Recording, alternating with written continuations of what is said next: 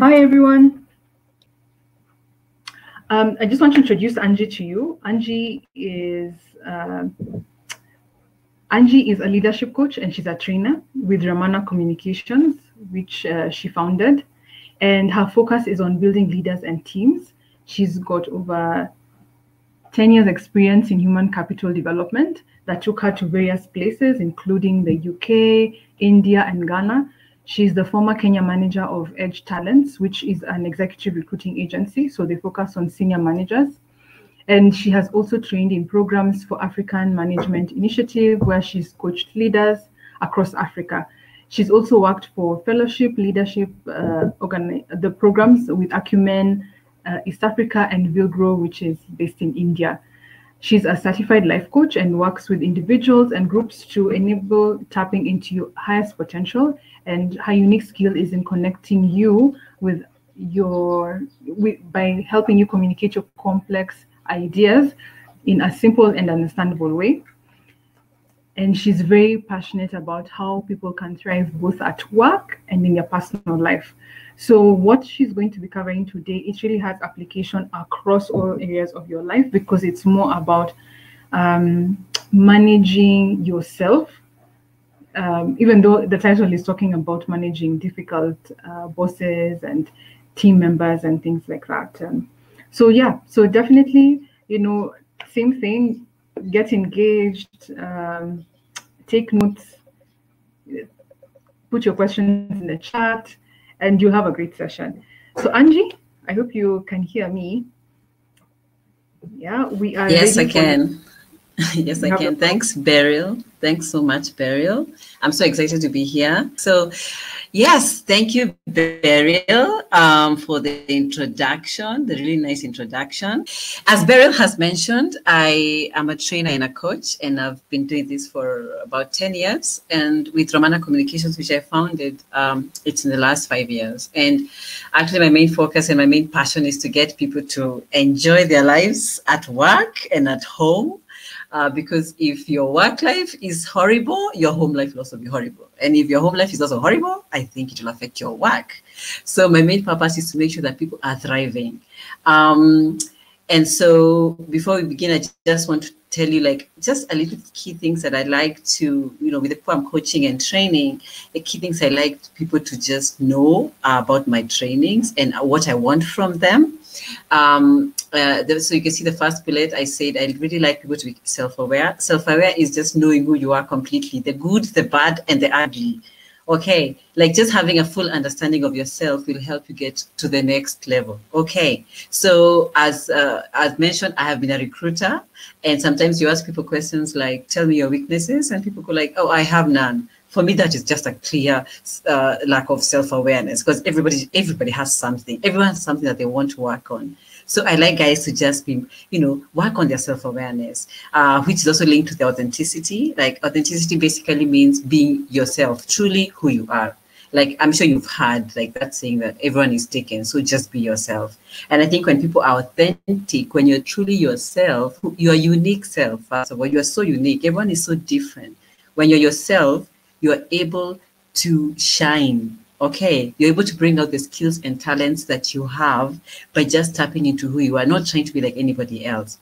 Uh, and also like to be honest, like if you know today's chat, you know, I'm going to ask some questions. Just be honest, because you won't get you won't get assisted, and I'll not even know the challenges you're facing if you cannot be honest. So it's good to just you know, like just think. Um, I think as, as this is a session where someone, no one is judging, I just would like to know like the, the issues affecting you.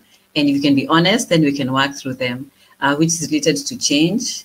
I think the most constant thing in life is change. I don't know how many of you right now are, are in careers which you went to school for, or you're in the same career you had five years ago, or you're doing the same thing that you dreamt of when you were 10 or 15. So the thing about life is like it's constantly changing. And those people who like adapt are the ones who are able to thrive. So I encourage people to not be scared, to just take chances, to take risks. Right now it's lunch hour and you're here in a webinar, like trying to grow yourself, trying to become a better person. So that's fantastic. So I really like encouraging people to always like try to think of like, how can I challenge myself? How can I be better? What can I do? What am I have I been doing wrong that I can do better? And it's which is linked also to the last point, which is learning. I am a big believer that we never stop learning. If you stop learning, you're dead. so even me, uh, when I give my trainings and my coaching, we do reviews. You know, I like to get feedback. I like to just become a better, better trainer, better coach. And as long as we are doing that, if all of us keep doing that, learning, learning, becoming better, we we're able to like we can surpass even our wildest imagination. So that's just as an introduction to who I am. Now, the topic for today is thriving in the workplace. So, um, for a lot of people, you know, I work with so many people, and uh, for them, their workplace is a place they go, do what they're supposed to do, and leave at five o'clock. And if they have extra projects, okay, fine, I will leave at seven. I believe, but I don't like anybody there. I don't show myself there. I don't. I don't show up. You know, my personality doesn't show up over there. Actually, I don't even like my boss, or I don't like my colleague. I mean, that is not thriving, guys. You need to be in a place where you feel like you can be totally yourself. You're productive. You know, you'll have the capacity. You're learning. You're enjoying. You know, your workplace, you're able to meet challenges, and you're able to develop your talents and capabilities. That is what thriving actually means. Okay. And so if you're thriving, you're also able to deal with the ups and downs of life because life is not perfect. You're going to face challenges. Maybe your work has so many challenges, but even you're thriving as you as an individual, then those things when they come, because they're going to come. Okay, if all of us, all of us works means dealing with difficult things when you're thriving, you're able to handle them. Okay, and if you're a team leader, you will know how to lead your team in a way that you're not always stressed. Okay, so I think I've defined what thriving means and what I would like for everyone. So now, if I was to just take a poll, like, how many of you have felt super stressed at work in the last six months? How many of you have felt so stressed in the last one week? How many of you have felt like, oh my gosh, I shouldn't be doing this? Maybe I need to change my careers in the last one year. I can tell, like, you know, obviously, this is the truth for so many of us, like, feeling stressed is like a regular thing in the workplace. Um, and I want to tell you, like, stress doesn't necessarily have to be bad. Okay. Now, a lot of people have actually i want to encourage please don't take notes. Um, everyone is going to get a copy of this presentation. So just listen to me internalize think about your own situation. Uh, you can take a bit of notes if you want to write something down that i've said that you feel is you know uh, poignant or, you know but no need to take notes. You'll get this presentation so it's common to feel anxious. And anxiety is, is kawaida, okay? Like feeling a bit stressed before before meeting some client who you maybe you've, you've been chasing for a long time. Um, and the feeling of anxiety is broad, okay? People call it stress. Some call it I feel the jitters. I'm feeling a bit nervous. Uh, butterflies in my stomach, uneasiness, you know, uh, freaking out. These are all explanations of what anxiety is for different people. Now, is it bad to feel those things. No, they're an indicator. For instance, they're an indicator that you're about to do something that uh, that you are striving for something, and and there's an outcome that you want.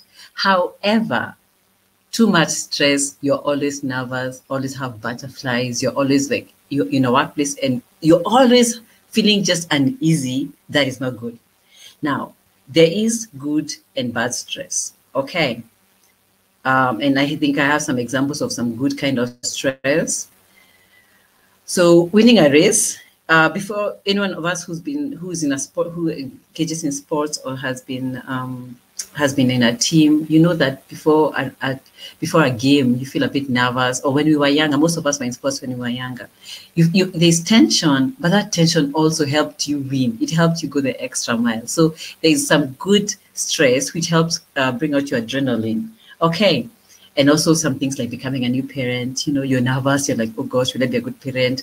Is it is the birth going to be okay? Am i gonna that's that's okay stress. That's some okay kind of uh, good stress. Uh, some people i have friends of mine who like doing extreme sports biking um, you know roller coaster things. Uh, people who love watching scary movies which me i do not. Um, so that's this is a kind of good stress. Okay. And i'm sure you have so many other examples of good stress. Okay, now what is bad stress. Bad stress is that stress that is not leaving. Okay. It's not, it doesn't leave you like every single day. If you feel sad or you're irritable, you always have moods. You know, you're those people who people go like, oh, that guy has moods or that mama has moods. Okay. If you're always feeling worried and, and you know, and, and fearful, and then you, you find yourself like you're withdrawing from other people, like any chance you get to just want to go home and just watch your TV, watch your series. You don't want to engage. You don't. Okay, right now it's Corona times. Nobody's doing those things, right? Nobody's meeting with others. We're not doing gatherings. But you know what I mean. Like if you if the thought of being with others just you just want to run away from people, that's also a sign of like there's something that's not all right. And um and if you find like your sleep patterns are also uh, are also erratic like people like to say oh yeah team insomnia team 2 a.m team 3 a.m you're up in the middle of the night. Uh, that's also not okay. That uh, could be a sign that you're suffering from maybe fatigue you have too much stress and it's time to start thinking about what is it that's happening in your life that uh, that needs to be solved. Now if you find you have all of this i encourage people it's time to see someone. Okay see a counselor, see a psychologist. Like with Ramana Communications, I have psychologists who work with people who find all of a sudden they are so withdrawn and uh, it's affecting their everyday life. Now, if you if you have maybe one of these, I'm not saying you're you're depressed or or you need help, but it could be an indicator there's something wrong. And if you find you have friends of yours who have, like for instance, social withdrawal, you know, you have friends who they disappear. They they don't communicate with you. They they don't respond to your messages. They don't pick calls. I think if they are friends of yours, people who are in your family, and you're invested in their relationships, I think you can uh, try and find out what's going on because this is an indicator that things are not okay, and they could be also suffering from depression. Now, let's go to this one. I don't. So I want. I like you guys to do on your when you're on your own, just write down like when you take have time to reflect, not right now in the webinar, but just write down like what stresses me? What are the things that stress me? So if you write down a list of the things that stress you or like the things that are stressing you, you'll have you'll know what it is that you need to work on. Okay, because if you're being stressed by the same thing that was stressing you three months ago, if the same thing that's stressing you right now was stressing you last year and the year before, I think you need to figure out what to do because you can't live like that. Okay, so write down what stresses me. You can write down uh, my job, or it could be my boss, it could be my sister, it could be my brother, it could be my wife, my child, but whatever it is.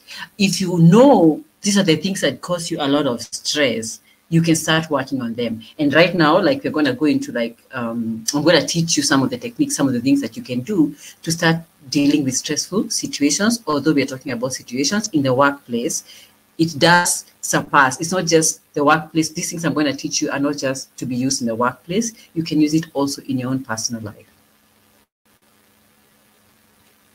Yeah. Now, workplace stress.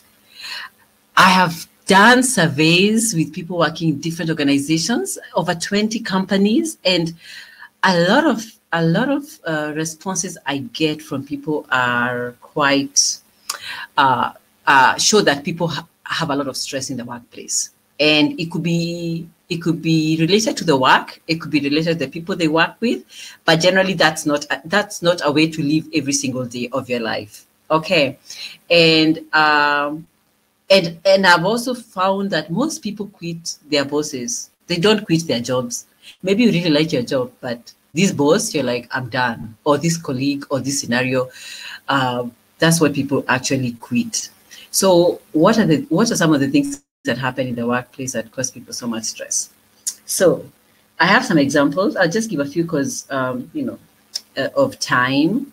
Uh, for instance, I've encountered people, someone who told me like they they have a boss who who gives them a task and then five minutes later the boss is like have you done it?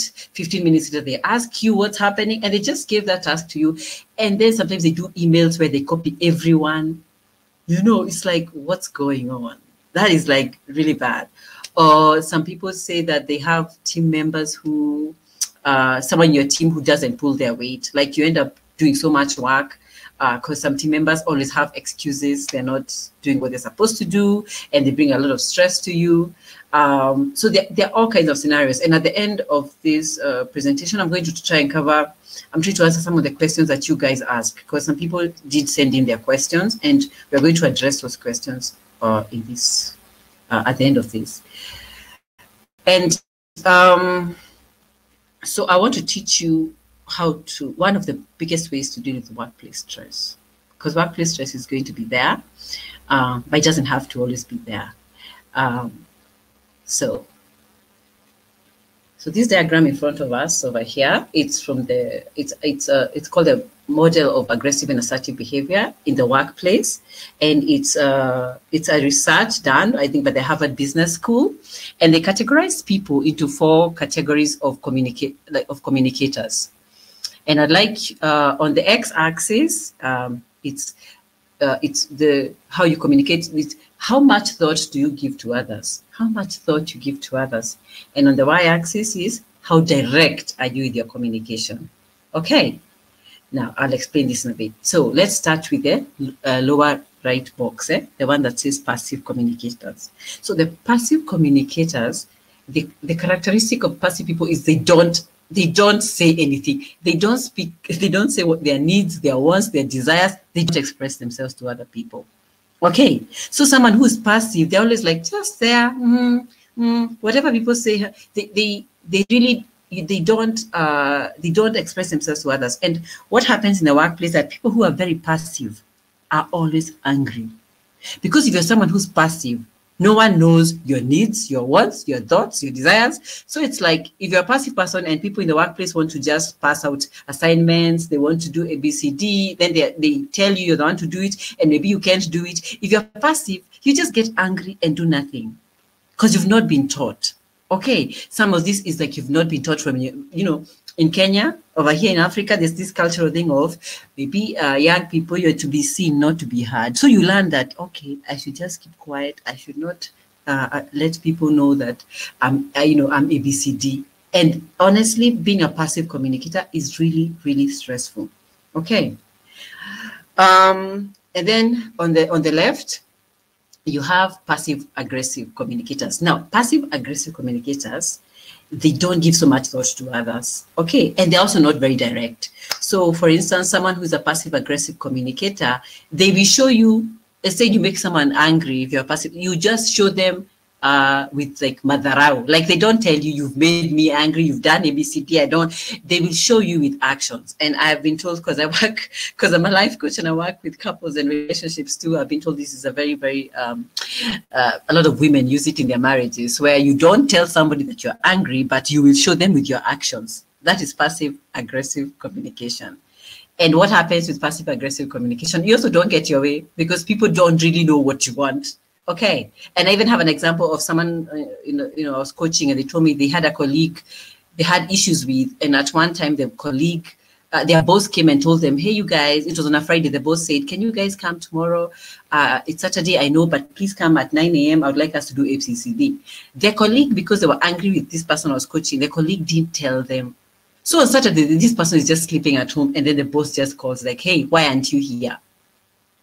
And she's like, oh, I didn't know I was supposed to be there. The post was like, I told, I told your colleague. And so that's passive aggressive communication. Like this colleague instead of just telling this person there's something that you did I didn't like, or you know, there's ABCD, they choose, okay, I'm gonna hurt them this way. They're gonna suffer because when the boss knows that it didn't come on Saturday, it's gonna have repercussions. So if you're a passive aggressive communicator, I encourage you to please stop being a passive aggressive communicator. You can lose your relationships, you can lose your friendships, you know, etc. And you still don't get your way. Now, let's go to the top. I hope people are figuring out where they lie eh, as you go along.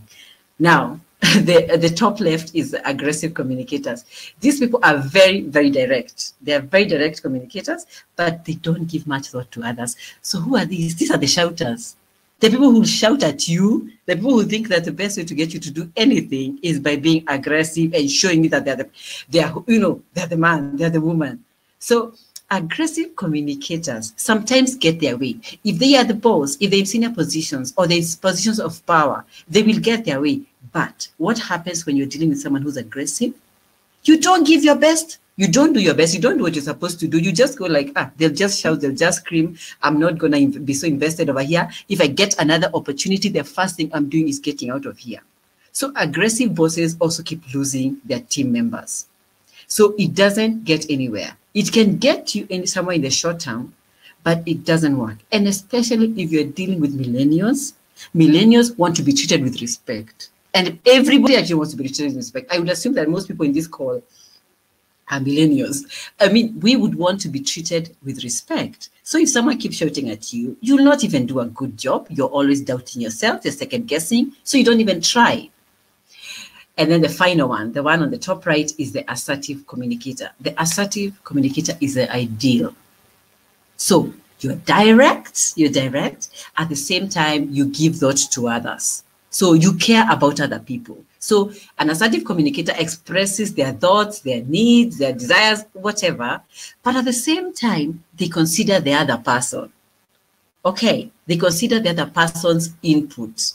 And most leaders, you'll find the most liked leaders are the ones who are assertive. They tell you what they want. At the same time, they listen to you. So that's the best way of communicating. Okay, I think you can place yourself. Now, I do know that sometimes it's not possible to be assertive with everyone. I know some people are not assertive with their parents. Some people have parents who, you know, from when you're little, you're supposed to just keep quiet and they tell you what you're supposed to do. Even now you're an adult, they don't listen. I have met people who are like that. Okay, so sometimes people choose to be passive. They're like, ah, it's okay, ah, whatever. I'm not going to be with this person all the time. But in the workplace, if you go to work every single day with somebody and you are passive, you're going to suffer a lot. You're also going to be, people will think that you're not a leader. You're going to be passed up for promotions. And generally, the, some people take advantage of you. So I hope that table was clear and some people, you can place yourself a little bit where you lie. Yeah. Cool. Now, I'm not seeing the chat because I'm on the presentation, but at the end I can I can have a look at what people are saying. Uh, so as I said, being assertive, explicit and articulate when communicating, and don't take the notes, just listen. Um, also, you know, being assertive involves a nonverbal skills, facial expressions, pitch of your voice. You know, people can tell if you care about them, if you're speaking to them nicely, even by the tone of your voice and your body language. Okay. Um, cool. And then, yes, I want you to know the benefits of becoming an assertive communicator. Okay. If you're assertive, you definitely make a great manager, as I said because you get things done, because you treat people with respect and fairness. And when you do that, people will do the same in return. Okay, so most people who are assertive are quite well liked by others and they're seen as leaders, and people want to work with you if you're assertive. But if you're an aggressive, you're a shouter, you're someone who plays manipulative games, if you're someone who's a passive aggressive uh, leader, people don't like you, people don't want to work for you, people don't bring their best selves to you. Okay, and and then another thing is that people who are assertive, they know how to negotiate win-win because they they are able to recognize the value, the value of someone across. You know, they listen to you and they're able to find common ground. Because life is not just going to go. If life is, you think life is about things just going your way. Oh my goodness, you're you're not ready for leadership. Leadership is about learning about other people and also doing what other people expect and want from you. And of course, uh, being assertive also you, means that you're a better doer and a problem solver. If you're assertive, you don't have to wait for people to do things for you. You, you know how to find solutions for yourself. And I can guarantee you guys, if you're assertive, you, you'll end up becoming less anxious and stressed. And then you won't feel like you're, you're a victim. You won't feel like a victim and you don't feel threatened by others. Because if someone comes to you with bad behavior and you're an assertive person, you'll be able to say, hey, ABCD happened. And this is what happened after that. So, and you'll be able to like really voice your your concerns, you'll be able to voice your opinion without being scared. And then people, and you learn. Actually, when you're dealing with people who are bullies, when you start being assertive, people who are bullies are actually cowards. I want to just let you know. People who are bullies are people who are cowards, and people who bully others, they get shocked when people be when people uh, start becoming assertive. Okay, because they start losing a bit of that power that you've given them. Yeah. Now, how can we be assertive? Just learn how to value yourself and your rights, you know? Like you you really you matter. You you are an important person. Just, you know, uh, there are all these things that have happened in your life. You've done this, you've done ABCD, you've gotten yourself from here to there. Come on. You're such an important person and and you deserve to be treated by other people with respect. Okay. And I'm not telling you to have self-confidence, to have self-importance. No, I'm telling you to just just value yourself and get a bit of confidence in yourself as a person. You can work on that. There are techniques, there are ways you can do that. And then learn how to voice your needs and wants confidently. Okay. Um, like you know some in, in our cultures you know there's maybe women don't know how you know like uh, I, I, have found that sometimes women, you know, when I'm doing sessions with women, they feel like, oh, I cannot do this with with this kind of. Uh, if these are my colleagues, um, older males in my organization, they don't listen to me because I'm so young and I and I'm so small and I think so. Just you know, I think you can work on a lot of these things, but just learn to how to be, you know, uh, how to voice uh, what is that you want confidently and it will start working. Um, and learn how to express yourself in a positive way guys. There are people who don't know how to speak well of themselves. It's a cult it's a kenyan thing huh? it's like you tell somebody oh hey, hey that you have like uh, a really nice uh, you know that bag you have is so nice. And tell you oh this one ah, this one just put it on the street for how much? Like people don't people just don't like to be seen like they they are uh you know like you're up there. You just like like okay. But i'm not telling you you feel like you're better than any other person, but learn how to just express yourself in a positive way because you're a great person. You deserve respect and and you actually need to start valuing yourself and then to come to your head and you learn how to be more assertive. And then please learn how to be open to criticism. Okay. Um, and criticism we're going to learn we're going to do right now a bit of how to learn how to do that a bit of how to learn how to do feedback so just be open to people telling you that maybe your way is not the right way that's also okay and also, and most importantly, learn to say no. Learn how to say no. It's very, very difficult, especially for some type of personalities. It's very difficult, but it's okay to learn to say no, especially in the workplace. Because sometimes there's so many demands that are put on you, and maybe you cannot handle, or things are going wrong, and you don't know how to uh, get yourself out of the scenarios. So just learn that it's also okay to say no. And you can tell no, you can even say no to your boss, but you, you have learned how not to say it properly. Yeah. Now, I wanted, uh, I put this over here because, you know, a lot of people speak about leadership, uh, the leader. Uh, you are right now, maybe you're a leader. Um, I just want to just cover a short, you know, I do leadership coaching, but I like people to just know like where they lie in terms of their own leadership styles because your leadership style can also affect the amount of stress that you have in the workplace. Okay. Now, these are just four. There's so many others, by the way, but these I, I generally find them in the workplace. Um, the first one, as, as the name suggests, is called Country Club. Country Club is let's just chill and have a good time. This, if you're a team leader who's a country club leader, you just don't like to give people so many tasks. You you just like to be boys. You want to be friends with your teammates, and that is that is dangerous. Okay, um, you you if because you value the relationship so much, you end up suffering because a lot of things don't get done because people are your friends and you don't know how to manage them. So country club definitely doesn't work. There's also the impoverished leader. This person is low task, low relationship. They don't tell you what to do. They don't tell you what to do, and they also don't try to help you. So it's like you're supposed to guess what you're supposed to be doing, and hopefully it works out well. Now, a leader like this has teammates who are normally very demoralized. They are so demoralized because they, they feel like um, they don't know where they are going. Okay, and another one that's very, this one is very common, very common in Kenya, authoritative, high task, low relationship. I tell you what to do, A, B, C, D. Why didn't you do this?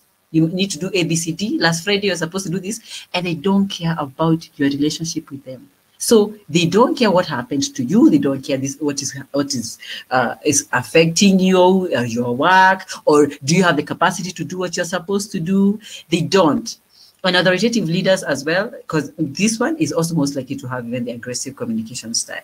So they also end up suffering because their team members also they fear them. And if if you fear your boss, I mean, you'll just be going there to work to clock the time and leave as fast as possible. As long as it's five o'clock, you're done. You don't want to contribute. You don't want to be in the same space with this person. Okay.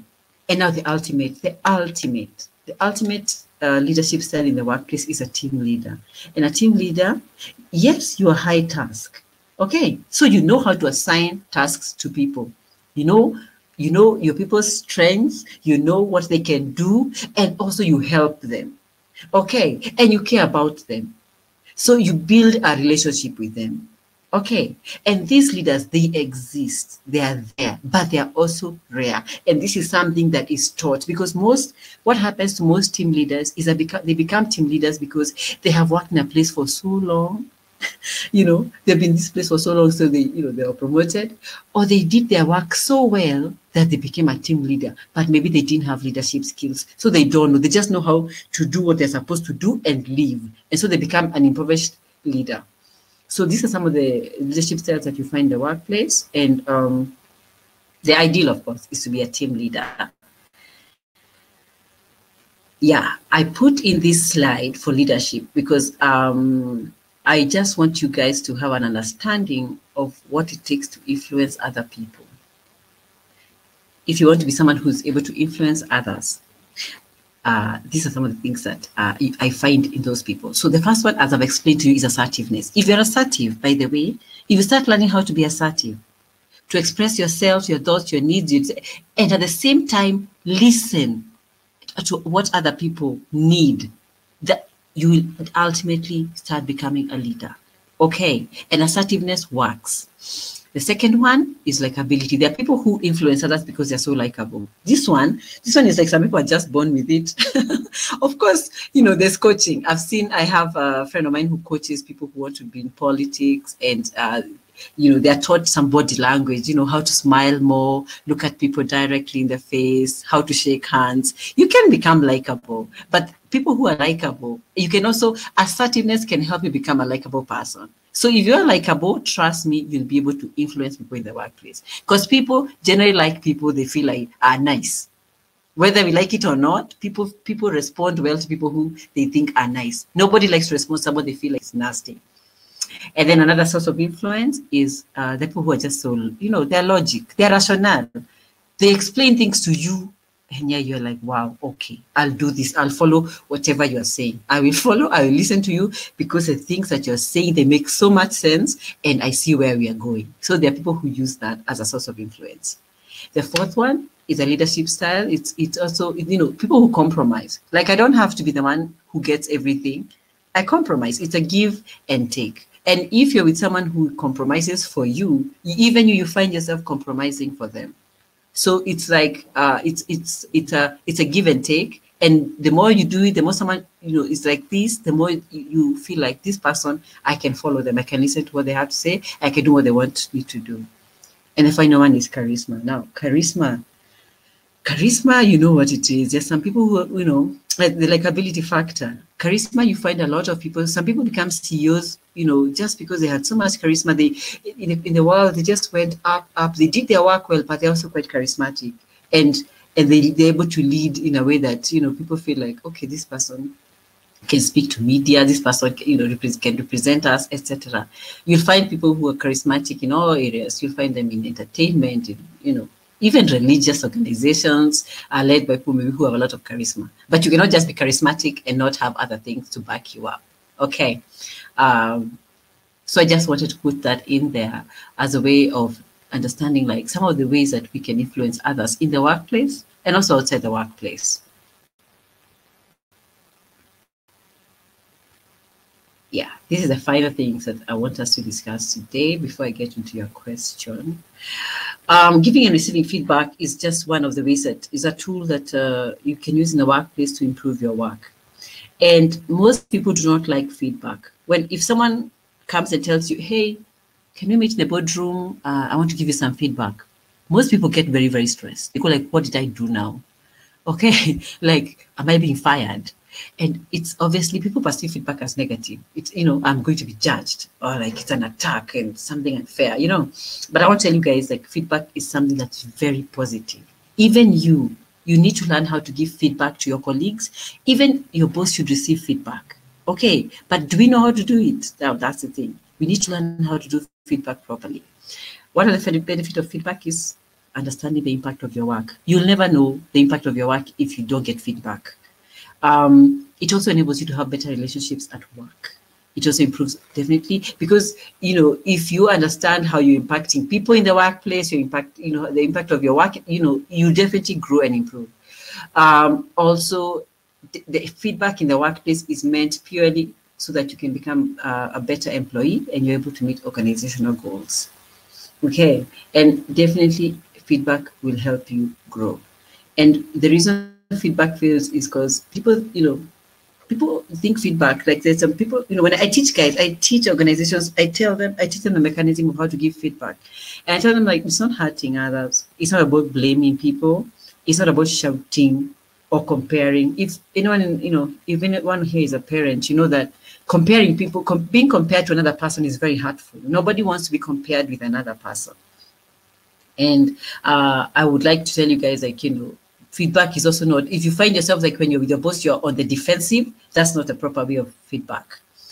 Um, and remember that all this feedback is about the action, not the person. Don't take notes. I mean, you're going to get these notes. Now, here, how to give proper feedback. Okay, these steps, I have found that they work. Okay, when people implement them, the problem is most feedback is normally blame games. It's normally tell you how that things went wrong. And honestly, there are ways that feedback can become better. The first step, if you're the giver of feedback, make sure that people are ready to give a feedback. So tell somebody, hey, I would like to give you feedback on, uh, for instance, let's say we had an event over the weekend. I'd like to give feedback on how the event went. Uh, can we speak to, today at five o'clock? Make sure you tell somebody and tell the, sub, the person what it's about. Don't just say, can I give you feedback? That will make people just feel so stressed just tell the person directly, like it's about the event we had. I would like us to discuss. Are you available? If you're available, yes. You know, you tell them, you know, I'll tell you like I can can we do tomorrow, etc. The second step is when you're together now, sitting together and giving you feedback. Just describe what happened. Concrete observation. You can be like, you can say something like, oh, the event we had, that menu is not a menu that we had discussed here in the office. What happened?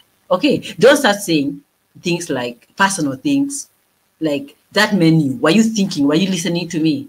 No, just say something like that menu that was served is not what we had discussed here. What happened? Okay. If the person is giving feedback at that stage, you just listen. And then, if you're the person who's not giving that feedback, you say something like uh, how it made you feel. Say like, uh, you know, that menu that that we had discussed here in the office, I thought was going to be uh, the best because of the kind of people we are dealing with, the people that we have. But now, what, what you served them made, made me feel like, you know, we look like we don't care about their tastes, their preferences, etc. And if what this person said is concrete information, like you know for a fact that yes, that menu was the wrong one, you can just avoid arguing and defending yourself. Okay. And then now you can ask clarifying questions you know, you can ask. I thought that, you know, because the caterer had this issue, I could change, I could do this. That's when now you can discuss with someone. And the final step, if you're the person who's the, who's the manager, please just end the feedback by describing what can be done different the next time. Because feedback is about growth. Feedback is not about blaming people. Feedback is about making sure that the next event, the next thing we do is come is better than what we had. So the main, if you, you should uh, be the person who's guiding that person into what is good for the next time. All right. Now, if you're the one who's receiving the feedback, acknowledge the person's point of view, thank them, and consider, you know, whether the feedback applies. If you feel like the feedback was wrong and doesn't apply, I, you might have an attitude problem. If they gave you, you know, the exact concrete things of, that happened and you feel like they were wrong, you need to understand, like, now, what's the issue here? What is it? What is happening? But if it applies, you just you just accept and move on. Okay. If you're the person giving feedback, please remember, just be friendly. Be friendly. I mean, surely you work with this person every single day. You know, it wouldn't hurt to be just nice. And always say, like, people, you know, say what worked well. You'd be amazed how much people get motivated by being told things that they're doing well. Okay. Even children, everyone, all of you, even your husband, wife, people like to be told what they're doing what is working well. It's really motivates. So do that if you can with your with your team members. Always focus on growth. Always focus on growth because the point of feedback is to make us grow. Stick to facts. Don't have innuendos. Don't talk about personality issues. Don't say you're lazy or don't listen. Don't have you know those kind of statements that are not factual that are based on your own opinion. and then always ask for input. When you give someone feedback, ask for their input so that maybe maybe what you got was wrong, maybe the idea you have is is, is wrong, um, and then learn how to problem solve together. That's the main uh, you know point of, of feedback. Problem solve together because you're working together, and I don't need to remind you. Please just stay calm. Like really, stay calm, be friendly.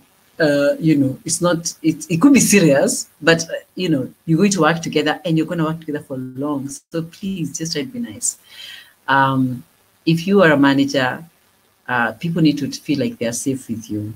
Okay. So ensure that what you're telling them is not something you're going to broadcast to everybody. You're going to broadcast the mistakes of your team members.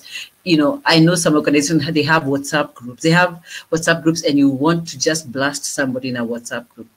That will make you lose the trust of the people in your team, and um, people are just going to use your internet to search for jobs elsewhere yeah and sometimes it's also good just offer positive feedback and stop there if you know things went well just give feedback that was just positive and end there and um, remember to praise effort not ability. Don't tell people things like they, they, they don't have an ability.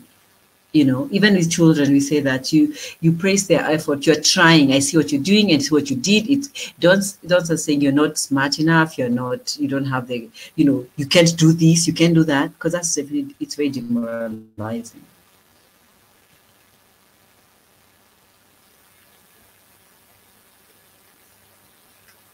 have you read that slide mm-hmm there are people who will always find a reason. They'll always find an excuse. Always find an excuse. Oh, it rained. Oh, my laptop charger was forgotten where. Oh, by the way, you remember? I mean, there are people who just come up with excuses all the time. Just own up. If you if you didn't do the right thing, if you didn't do what was supposed to be done, just own up.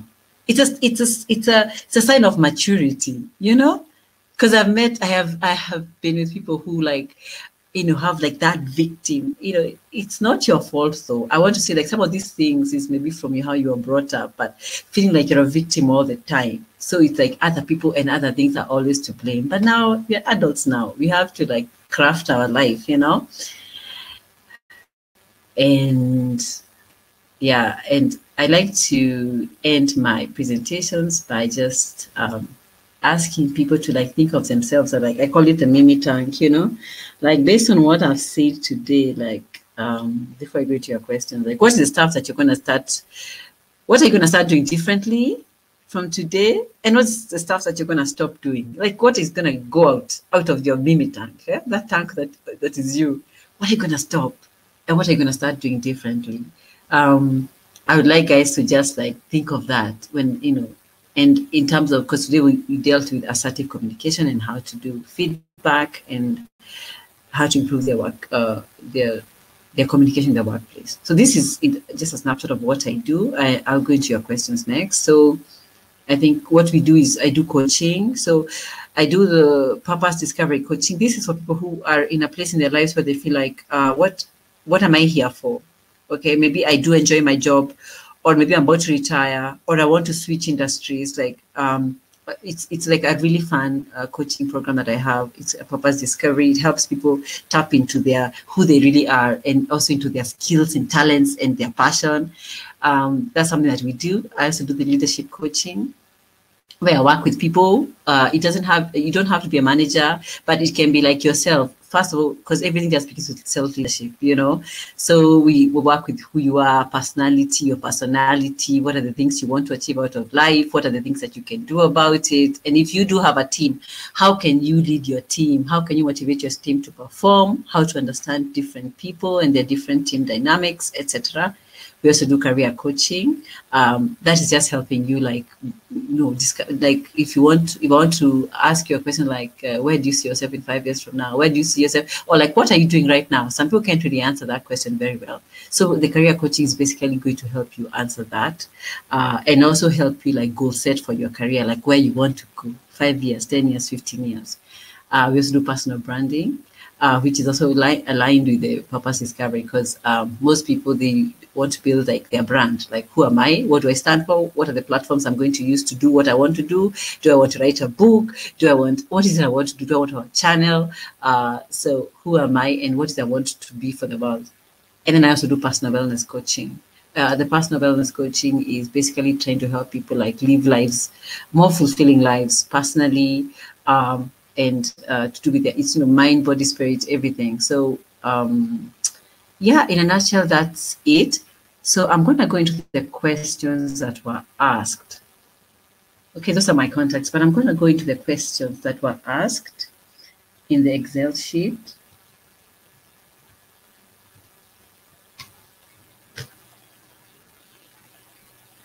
Hi, Angie. Oh, hi.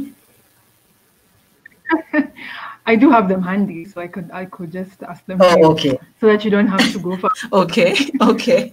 All right. Presentation, by the way. Okay, thanks. Um. So the first one is, what would you do if your boss acts like you're in competition with them? If your boss acts like you're in competition with them, so I would I would need to understand what exactly is happening. You know, ask like what what is happening? Like what is this scenario that is like competition? Is it um is it when you're with clients? Is it like in the work? I, I would want to know the you know the exact thing that happened because competition can mean all kinds of things. Are they jealous of you? I would like to know the scenario.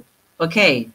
Um, but if you find like your boss, uh, your boss behaves like you're in competition, which means they try to put you down, which means if they're trying to put you down, I would suggest that um, honestly, what we've learned today, like assertive communication, just uh, have a sit down. You can you even maybe your it's your own thinking that this person is behaving that way. You can just sit down and, and say, hey, this happened yesterday and I'm not feeling comfortable. Can you let me know if there's an issue that we need to discuss? Uh, you know, ABCD. Um, but otherwise, if if if this person is not someone you feel like you can have that conversation with, I'd like to tell people just ask yourself how, how how can you put up with it? Is this something that is affecting your morale? Is it affecting your work? Is it, you know? And if it is, you definitely need to deal with it. Because uh, what will happen if you don't deal with it, you start now looking for an escape, like looking to leave the organization, looking to whatever. But if it's possible, try find a way to have a conversation. But don't tell them like if you're acting like you're in competition, just tell them, hey, this happened yesterday. This happened on Monday. This happened last, last week. And I wanted to know whether there's an issue that we can discuss. Just try and be assertive. They'll be very surprised. Sometimes they'll be like, oh, wow. You know, they didn't know that this, what, they didn't know how their behavior was affecting you. They'll, they didn't know that what they did and behave is something that is causing you stress. So just give it a try. But then you're the one who, if you're the person who asks this question, you're the one who knows exactly what you're talking about. So I don't know exactly what this competition thing is. Uh, so I think based on what I've said today, figure out whether it's something that can be sorted out via communication. Cool. Mm. Thanks, Angie. So I was I was actually thinking um, mm-hmm. maybe I could share a scenario. So one time mm-hmm. I was working uh, under someone, and mm-hmm. uh, we had a meeting. Yeah, and the mm-hmm. director um, mm-hmm. was projects for people to take up, but it was one of those things that was extra work, no pay. uh, sorry, eh? so it was no, one of those things. Extra work, no pay type things. Eh? Oh, okay, okay of course, mm-hmm. not very people were enthusiastic about. Uh, yes. I, I usually enthusiastic for such things. So yes. um, I was very new in the organizations. I lifted up my hand. I had no idea what she was talking about. Yeah, but I'm one of those people yeah. who's like, I figure it out. It's an opportunity to learn. So okay. um, I put my. I was so excited to do it. And then later mm-hmm. on, I realized mm-hmm. my boss mm-hmm. was so upset about it. So upset. And uh, literally not talking to me. So the next day, um, maybe mm-hmm. just to, I'm just giving this scenario. Maybe you can see if this applies to your specific okay. situation. Mm-hmm. But what I did the next day is I just I just called the aside and I just said, okay, um, I notice you're you're upset with me. Mm-hmm. You're not talking to me. What's the problem? Did I do something to upset you? Yeah, yeah said, uh-huh. you, you're competing with me. Okay, thankfully oh. they were very direct. Yeah, I feel like you're competing with me, and it's like, oh, okay. Um, I don't know where you got that impression from. What happened to make you think that? Yeah, so I'm exploring. Okay. And it's like, okay. why did you put up your hand? Why did you put up your hand? You should have conferred with me first before you you did that. Oh, yeah, okay. Exactly. So you see, so, so for them, uh, they their style of leadership was defer mm-hmm. to me first, and mm-hmm. then you go do what you want to do. Yeah, don't don't be yeah. dependent. You get my point? Yeah. Yeah. So, so yeah, yeah, yeah. You so you are new and you didn't know that this is how that kind of a boss is. I didn't. But you know, is it is it the organization that is like that? Because there's some organizations where it's like, oh, the boss is the one now. You know, you can't be fully mm-hmm. yourself. You, the boss is the one who decides for like what's what's gonna happen or going on. Is it your particular yeah. boss, or it's like the organization is like that? No, no, no. It was a culture. But you see, when you're new, you new don't know. you, you don't know. So, uh, but the good thing yes. is, and I'm not mm-hmm. sure because it's not like um, I, I wouldn't say it was. Uh, at that time a natural thing for me to do but anyway through just basically just questioning and just saying honestly i didn't that was not my intention i thought that mm-hmm. if he asked for help mm-hmm. and mm-hmm. i could see no one had put up their hand i just put up my hand because i thought it would be interesting to work on the project you know? Exactly, but yeah, but Beryl, yeah. you are assertive. You decided to take matters into your hand hands because you saw like uh, the behavior of these guys changed. It's funny, mm-hmm. so you are assertive. And then what happened after that phone call?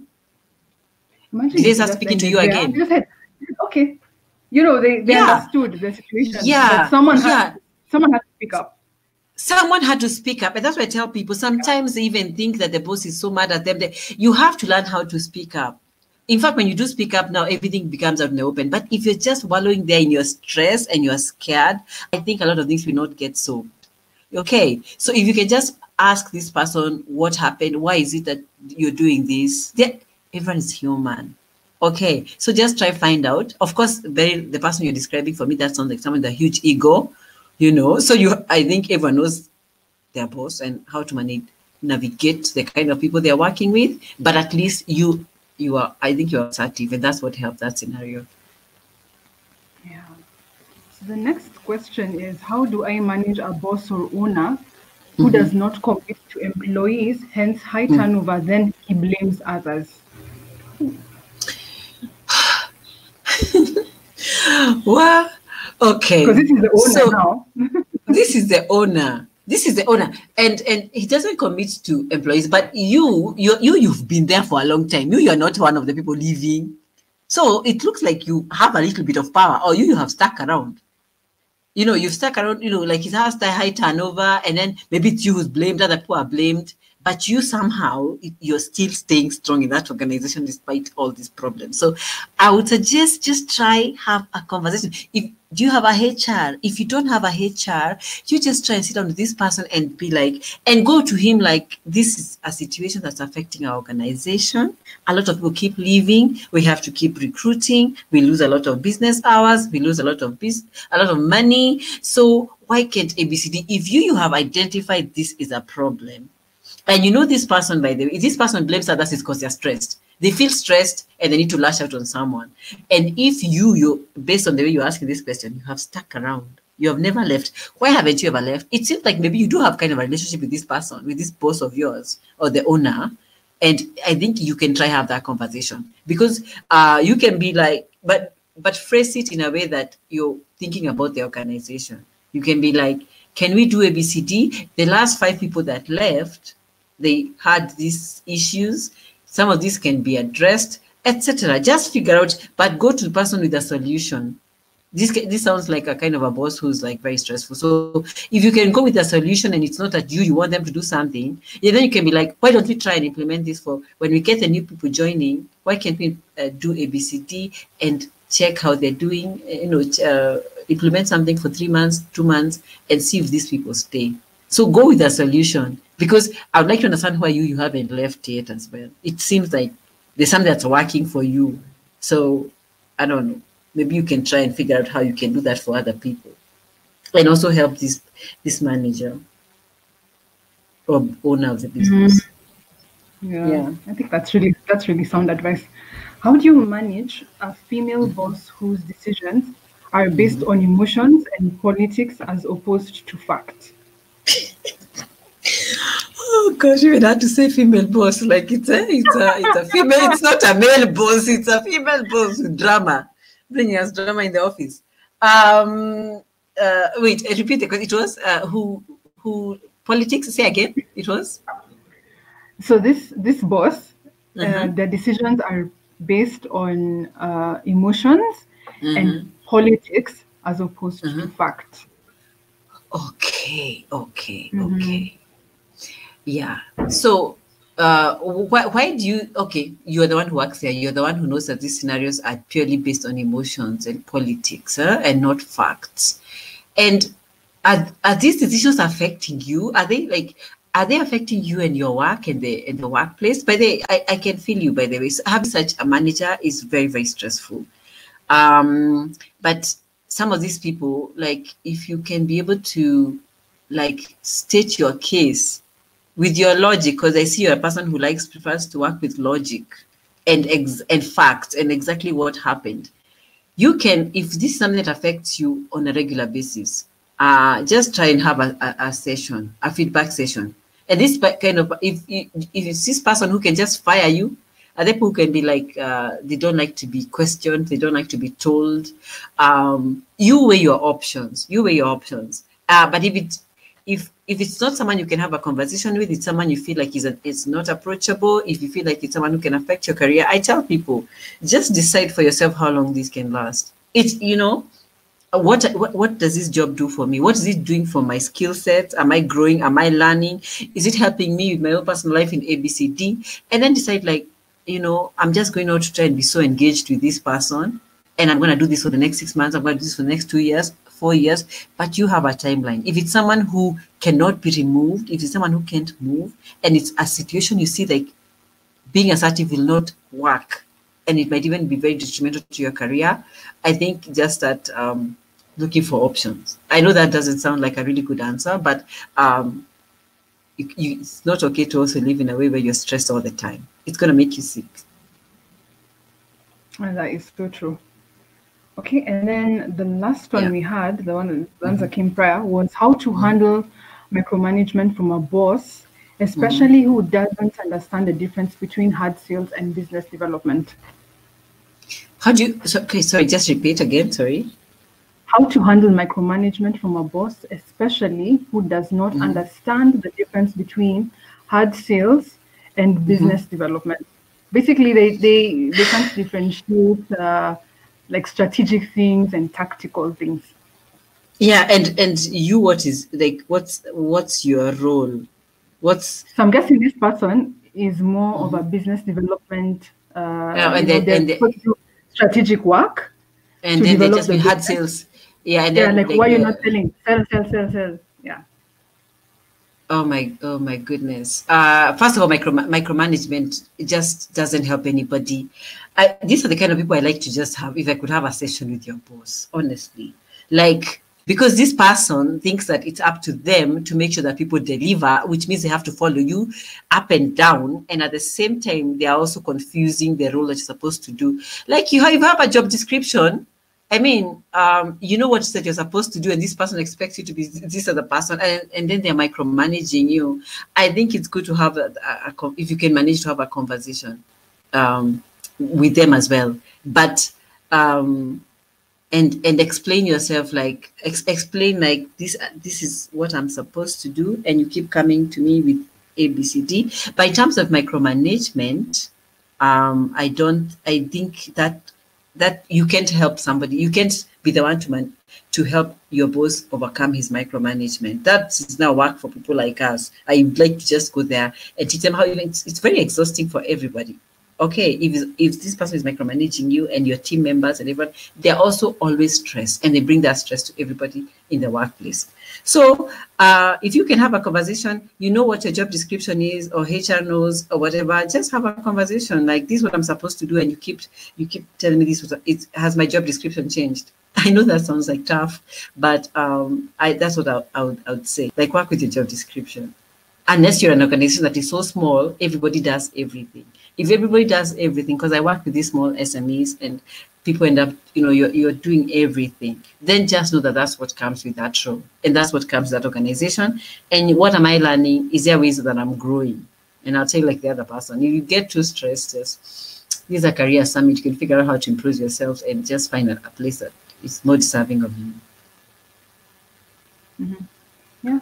I, I yeah, someone is calling me Lucy. Oh, yeah, someone here mentioned uh, on the chat. Mm-hmm. Okay, do you have another question? No, no, no. I think that's it. So we can start off with the chat. Where, where would you like to start?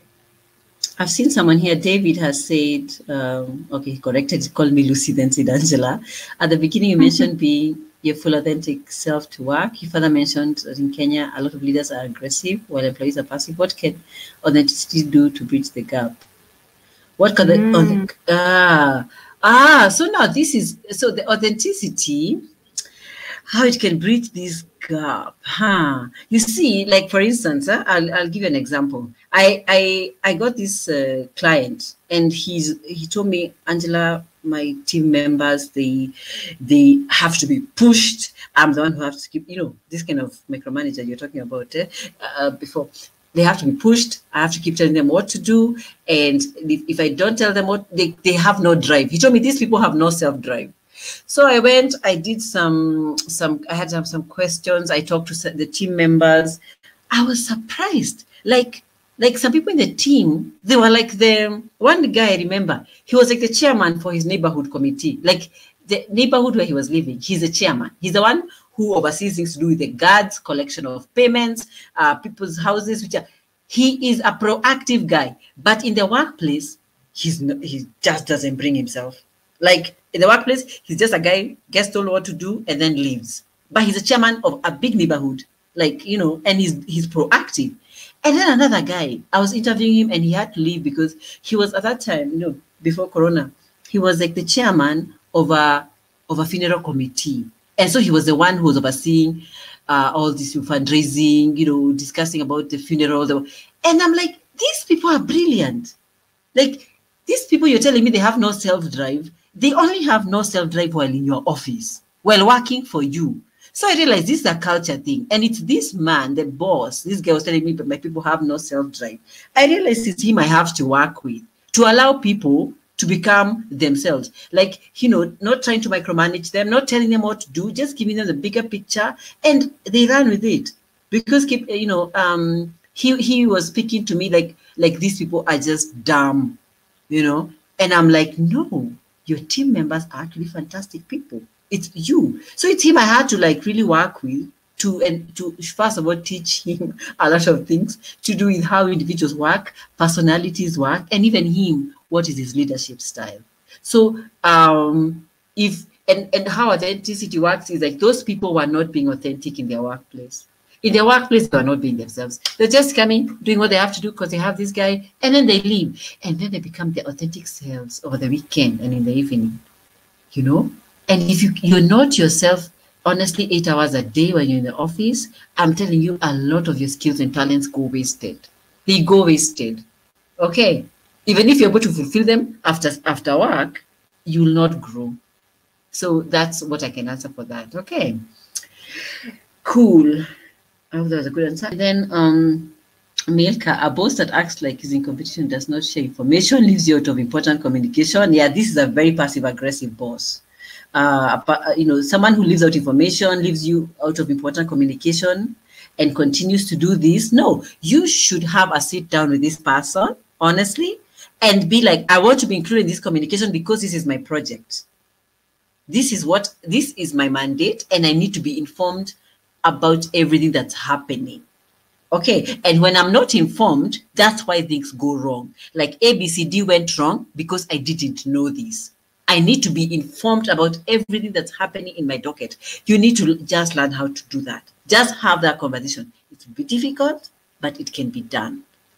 Okay and yeah, someone who is um, in com- this competition thing, I, it just doesn't serve anybody. If you're a team leader right now listening to this, I mean, you usually just know you need to learn how to let your team members be themselves and to have access to everything they need to have access to to be able to work well in the organization.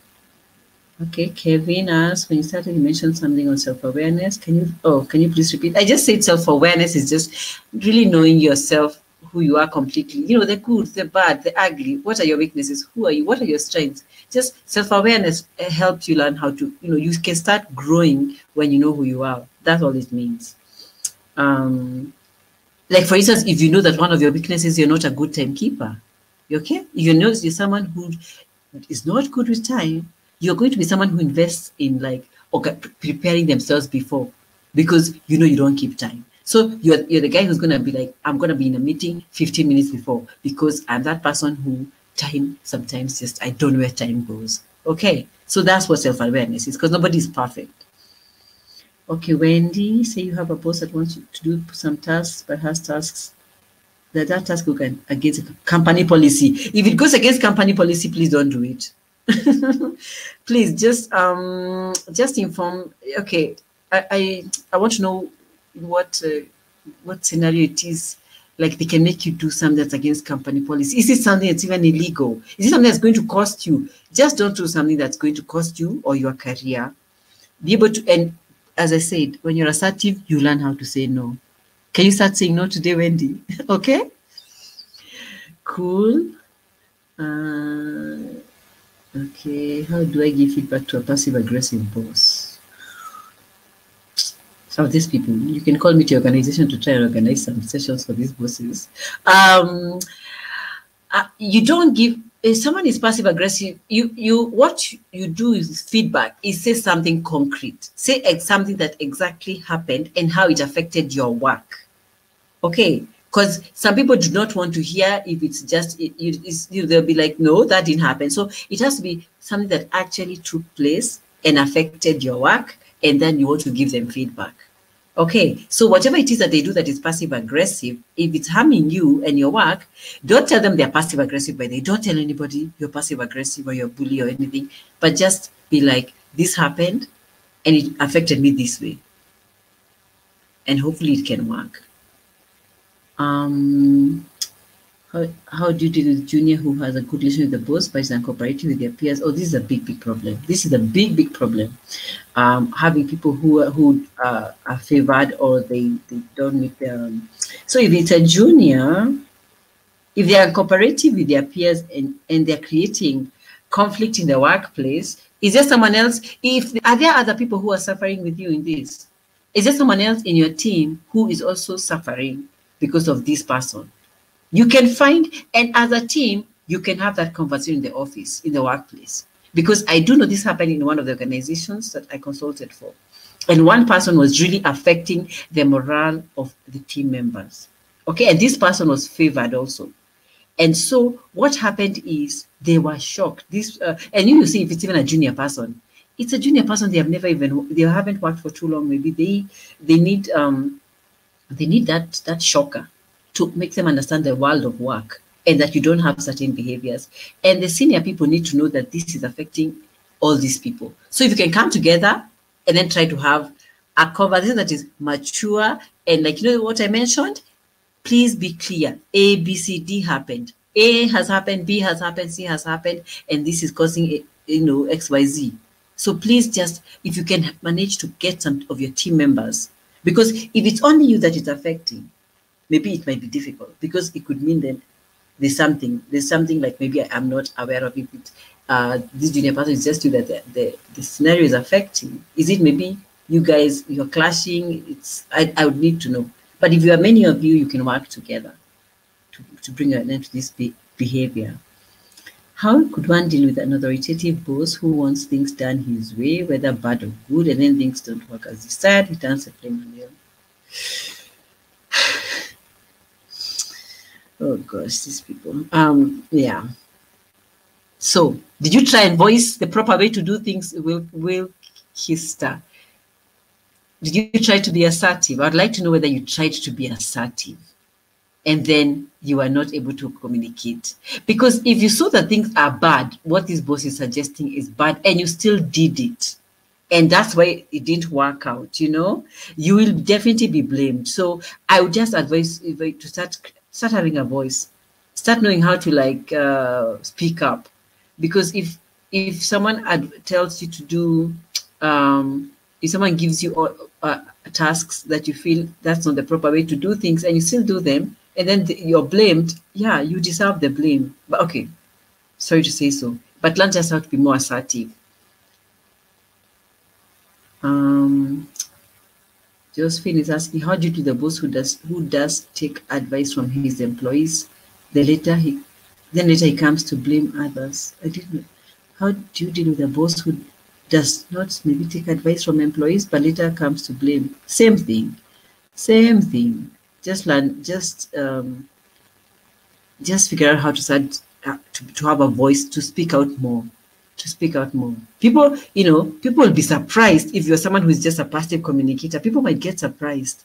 But then once you start learning how to have a voice, you will be amazed. You'll be shocked by how much impact that you can have around your work in your workplace.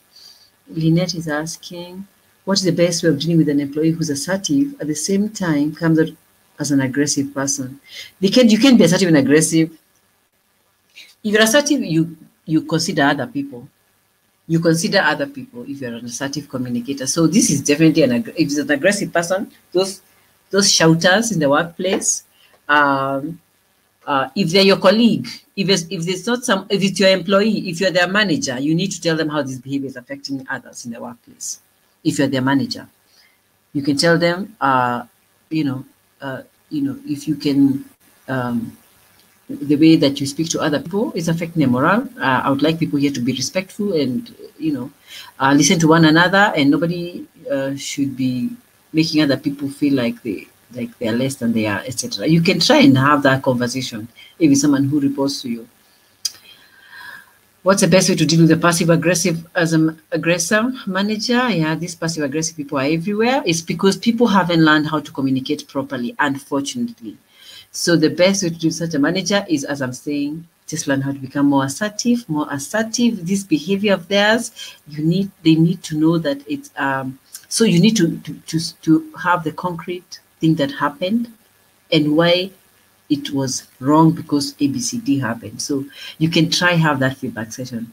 Uh, if there are people who can affect your your job, if they can get you fired because you're starting to become, a, a, you know, people say you're becoming kichangumu, but it's not kichangumu. Assertive people actually listen to others. But if you're someone who is maybe your employer, um, you can just say, how long can I put up with this? And am I learning? Am I growing? Are there other opportunities? Are there other opportunities for me in the workplace for me to move on, to move to another department, to move to another location, to move so you can work towards that? Um, what else? Okay, thank you, Wycliffe, for saying that. The. How can you work with aggressive community? Yeah, yeah, yeah. Yeah. All these people who are shouters and they make other people feel less in the workplace, they cause a lot of stress. They cause a lot of stress. And people actually quit jobs because of them. So if you're one of those people, if you, you know, just um, the best way to do it is to respect. Um, everyone is talking about an ag passive aggressive manager aggressive communicator. Oh, Yvonne, good on you. You're assertive. okay, uh, Ibrahim, can you can can you be aggressive and assertive at the same time? No, no. Maybe you can be aggressive, uh, but you see, aggressive people don't care about other people. That's what I like to remind people. You know, if you're someone who's uh, always like uh, shouting at others and not considering them, you're aggressive. You're not assertive assertive people know how to communicate. They know how to make other. They know how to listen to others and hear the other people's opinions and views. And you know, uh, yeah. Pauline, one of the people reports to me, is an aggressive communicator. Wow, reports to you. And others on the team sense her aggressiveness, and I end up with the team that's so aggressive to me. In return, I have learned to limit communication and demand respect for body language. So stressful. Yeah, Pauline, I can imagine this is very, very stressful. Um, so so what can happen is like um, there's one organization that I I worked for, and uh, we we we had um, a director who was also uh, we got a director who was okay. We, I had a colleague who was quite an, an aggressive person, a colleague, but then we got a director who was able to like come and um, and that even helped me like later when I started work, doing this work that I do. He taught people in the team to, to speak out the things that are affecting them. Is this something that, Pauline, that you can do in your workplace? Like you can just, but you need to know that you can handle everything that comes out of that. You need to sit people down and have a, it's a, okay, I call it coaching conversation, but you know, it's a conversation where people need to know how their behavior is affecting the workplace. If it's something that you can do, try I can guide you, can sidebar with me on how I, I can maybe get, send you some, some some documents to just so you can learn how to deal with this kind of scenario. Because if other people are becoming even aggressive towards you and you're their team leader, and now you you limit your communication, that's that's that's detrimental to the workplace. It can't you can't do this. It's not sustainable. It's not sustainable in the long run. And people need to learn. So even you, you need to start asserting yourself so start asserting yourself so and to just have some bit of respect. And like asserting yourself means like you call out, you call out bad behavior. Call out bad behavior in a way that's also caring. Not that you're being, you know, without being aggressive. Can you try? Can you try one of those things? I think it would work. Ezekiel, okay, yeah, respect is key. How do you deal with a supervisor who believes that unless you're running out the scale, then you're not working? This is a problem in our culture here uh, since that's her style of working, then you make a small mistake, you'll be rejected. Yeah. Especially how are people doing it right now with, with social distancing and working from home? People who want to just see you running up and down, uh, you know. Um, how do you do this such a supervisor? Now, a lot of these issues you're giving me are issues that me I need to do with those managers. Because there's nothing that I think you can do. You cannot teach, you cannot teach your manager how to, you know, stop micromanaging you guys. Mm, if you make a small mistake and you're berated badly, that also means that the feedback is not good. The feedback session was uh, was is not successful if it's about berating you. You can ask ask this person when they berate you. By the way, just ask them. Please tell me ways in which you want me to grow. Just ask them. What do you think? How do you think I can do this better? Then now you put the task on them because if they're quarreling you, then they should have a solution for you. So ask them, how can I do this better? What do you think I should do next time? Then, then they can maybe start thinking of, oh, okay, I'm supposed to be the one guiding these people. But generally, it's not your duty to. Uh, I mean, it's going to be very difficult to teach uh, your, your your manager something if you're a team leader, I can work with you and help, you know, with your team. But your manager needs, um, if you can have a feedback session and tell them and be able to explain, I did this, this, this, this is what I was doing, and this is where the mistake happened. Fine, but you can you can try and make them become uh, better leaders by asking them, how do you want me to grow? How do you want me to grow? Um, you mentioned weakness at the start. I don't know if it's related to the topic, but I'd like to ask, how do you answer such a question in an interview?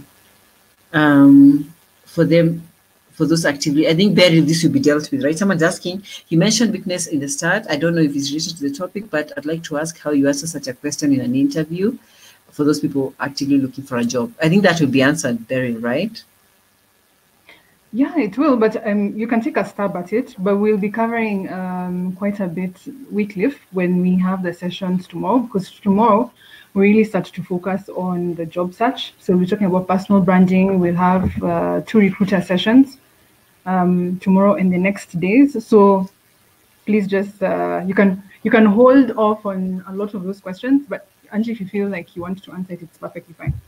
Yeah. So the thing with weaknesses is people really don't want to know what you're really bad at and what you. I I feel like you should say things that you're working on like for instance, um, you can say you you can say um, I find that I'm I'm someone who can be. Uh, let me see for an example that is that is good. Yeah, I'm someone who takes on too much work, and sometimes I end up, you know, I feel like sometimes I get burnt out, and but I'm trying to learn how to manage my time well. How, you know, say things that show that uh, a you're someone who works really hard, and someone also who um, is growing. Don't say things that are just going to make you look like they don't want to hire you. Like you can, like someone said, I have a bad temper. One time I was interviewing.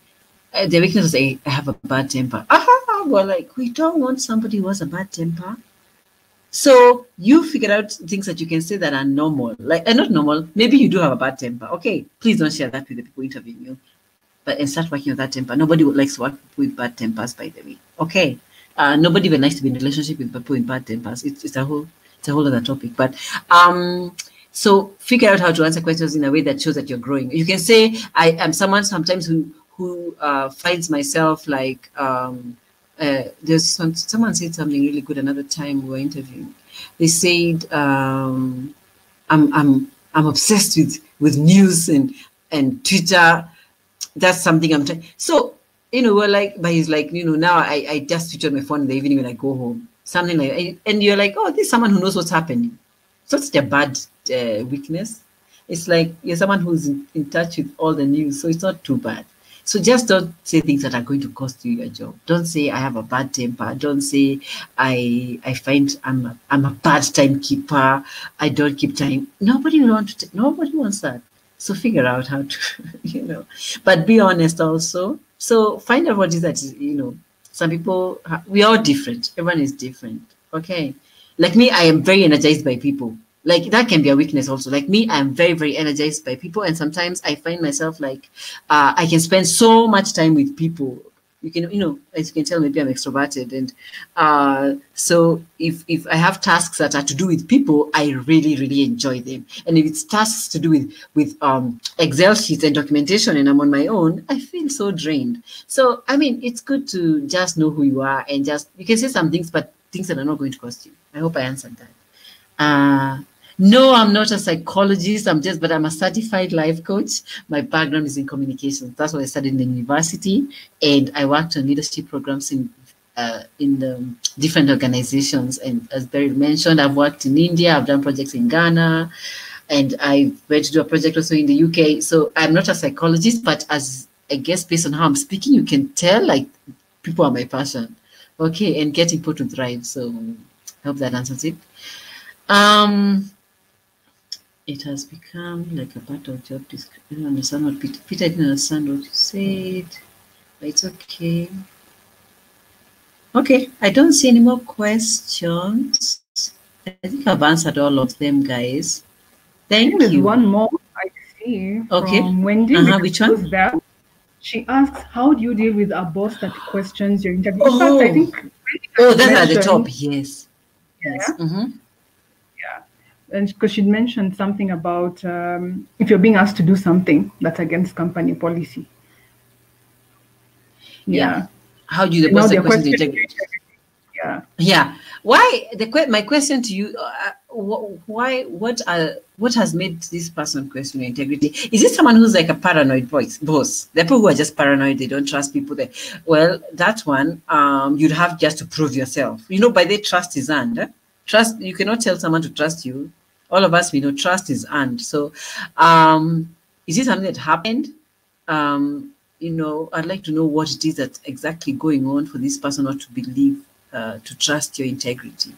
Okay, so if it's something that happened and you're not you're not being able to explain yourself well, um, and you know that you didn't do anything that's against um, that's wrong, um, you need to have a conversation.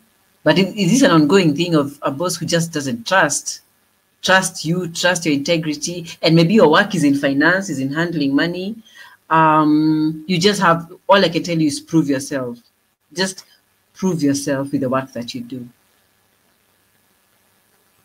Mhm. Yeah. Yep. I think that's really that's really great advice. Thank you so much, Angie. So I think um, part of our take homes is number one, there are very many people who don't feel in control. Like you said, uh, these bosses we feel are bullying us are also themselves very scared. Yeah, I mean, uh, yeah. In fact, if, if I forgot to say that, I should. Yeah, people who are just stressing other people, it's because they're they're so overwhelmed with stress themselves. themselves, yeah. And actually, what Yeah. they're really telling you, I have no idea what I'm doing. But Yeah. no one will, no one, like, I don't know what's going on, but I just want to see all the balls on the floor. Let me just see them all, you know? Um, but yeah, I think just remember it's at the end of the day, it's not really about you. This person is really just reflecting the inner, inner self, Exactly. yeah. Yeah, it's called projection. Yeah. Um, yeah, and then yeah, you know the second thing I think for me that uh, Mhm. is really important is we just need to learn to speak out. You know, if you're unhappy, Mhm. if you are Yes. stressed out, if you're overwhelmed, you know, Yes. if your employee, like your your your teammates are bothering you, your your the people reporting to you are overwhelming you, you need to speak out.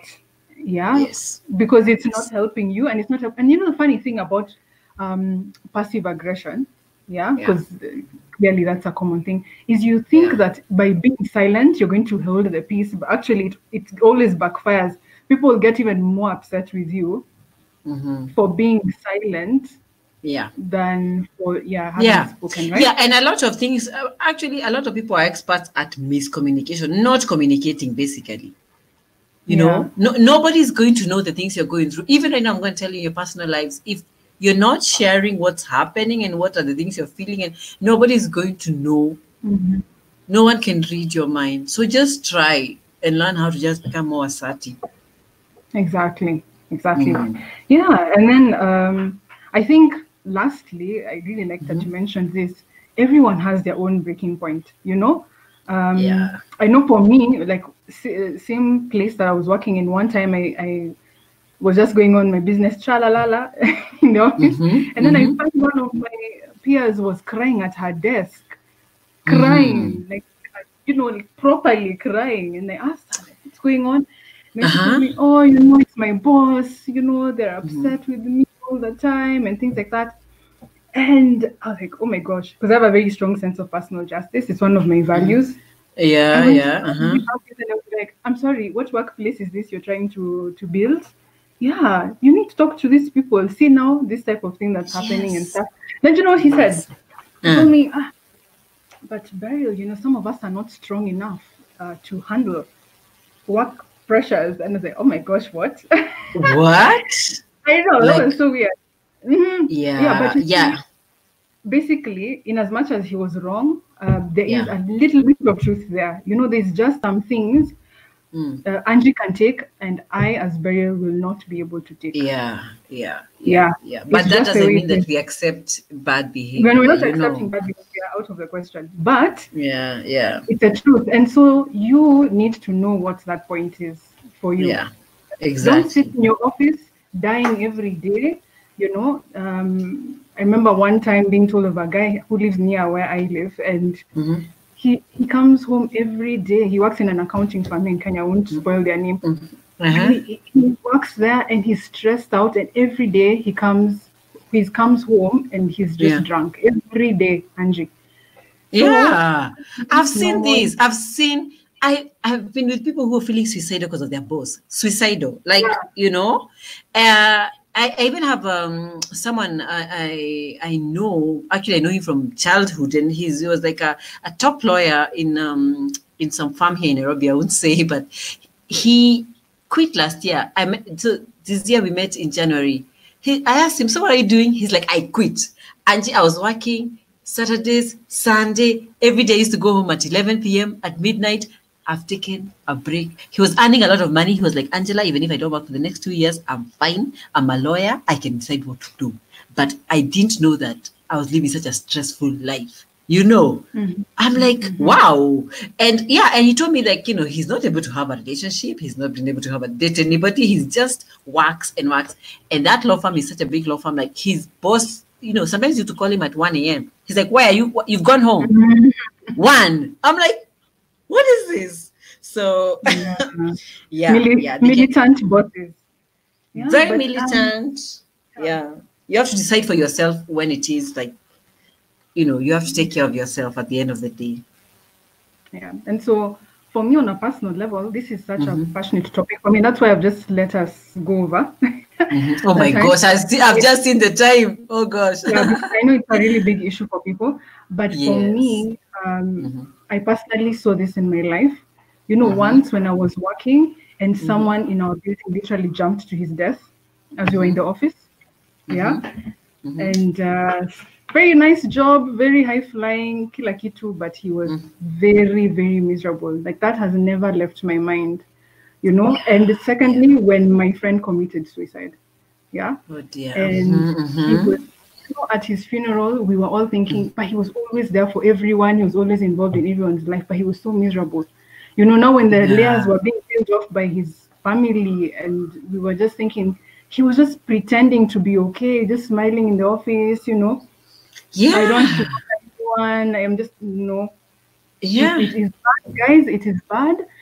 yeah. Career is important, but nothing beats your your own mental health. We would rather that you are sitting at home and Yeah. you are at peace than you're living somewhere that's killing you every day. Exactly. So anyway, so that's why you know I, I guess Angie and I share that passion. Uh, that's why yeah. that's an important Yeah. topic. So I would really like. I think that my takeaway for you for you guys would be Mm-hmm. number one, because me I'm one of those people who is like take action immediately. Not that you go and talk to your boss about these things we've talked about immediately, but just think about, you know, like two two things that you can do. Number one, I can I can maybe I don't know do what I can write down. You know, if you're scared of what you'll say, maybe I can write down what I'm going to tell my boss or my peer or my colleague.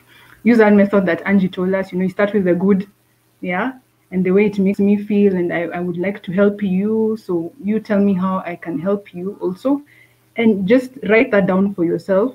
Yeah, and maybe tomorrow as we start off, you can share a little bit. You know, even if it's privately, just share so that we can all learn from it. But make the effort for the for your sake. Imagine you're worth that effort. Yeah, you you shouldn't be living in fear and panic every every hour of your life. Exactly. Yeah.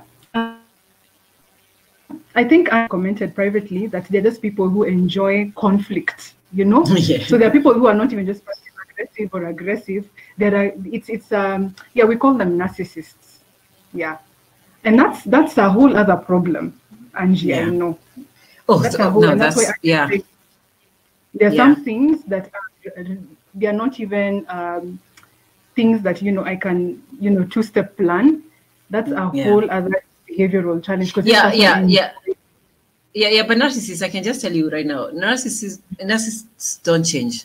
Like they just have, they just find new victims. So if you're someone who's a narcissist, figure out how to like um, disengage, disengage. Because narcissists, you know, you know, it's it's a it's a it's a a whole like personality problem, and they don't see it, and they'll never see it. And people tend to like narcissists a lot in the beginning, so they're very charming, very likable, etc. And then they're they're just cruel people. So yeah, you until, until, yeah. until they realize you like them, then they turn on you. yeah. Yeah. So so guys, I just oh Isaac yes will be sharing recordings of all sessions, all sessions. Yeah. Um, give us some time. You know, after we've done all of the sessions this week, we will then put them together nicely for you somehow where you can be accessing them. Yeah. Yeah, but guys, I mean, this is really about our life. I, I think a lot of these things also touch on our personal lives. Think about your personal life too. Yes. Auntie, I don't know how I can thank you enough. Um, I'm pretty sure a lot of us feel like at least our hearts have vented today. You're Yeah. so welcome. Yeah. Yeah, yeah. So I'm glad I'm glad I did this. Yeah, I'm so glad to have you here. I'm glad to have everyone on the call as well. And thank you so much for being so open uh, and sharing. I hope that has also brought some some clarity for you. Yeah, and so I look forward to seeing you guys tomorrow. Tomorrow we'll be covering personal branding, and then in the afternoon I'll be taking you through personal branding, and then uh, in the afternoon we're going to have Vicky Karuga, who owns a pro, an assessment firm, and we're going to be talking about how assessments are used uh, for uh, recruitment, for personal development, and why they would be important for you to also invest in if that's something that you're thinking about. Yeah. Yeah. So, um, yeah. Okay. So, so Mary, uh, it's a little bit difficult. I'm just answering some question here. Um, Mary, it's a bit difficult sometimes to stream with video where where the speaker is live, as well as having the the presentation there because for different people they may not it may not be smooth and that's why we're we're not doing it. It's not that we're scared of being seen. So yeah so i just want to thank you so much guys and have a good evening. All right bye. Bye bye.